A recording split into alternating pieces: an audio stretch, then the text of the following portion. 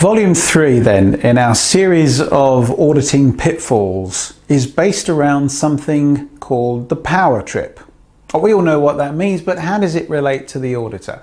Well, if you come into auditing because you like telling people what to do, you're in the wrong place. If you've come into auditing because you like bossing people around, you're in the wrong place. If you've come into auditing because you think you know best, and you love the feeling of power when you issue a non-conformity report, you're in the wrong place. This is not what auditing is about. Please be careful. Um, it is not an ego trip. Um, it can be a very rewarding uh, thing to do, but auditing is not about exercising one's power over somebody else. It's simply about doing a job that needs to be done.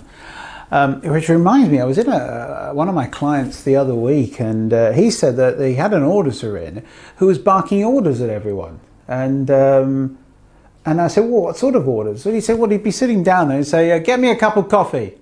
And he'd just bellow it out like that because he thought he was in charge of the whole building.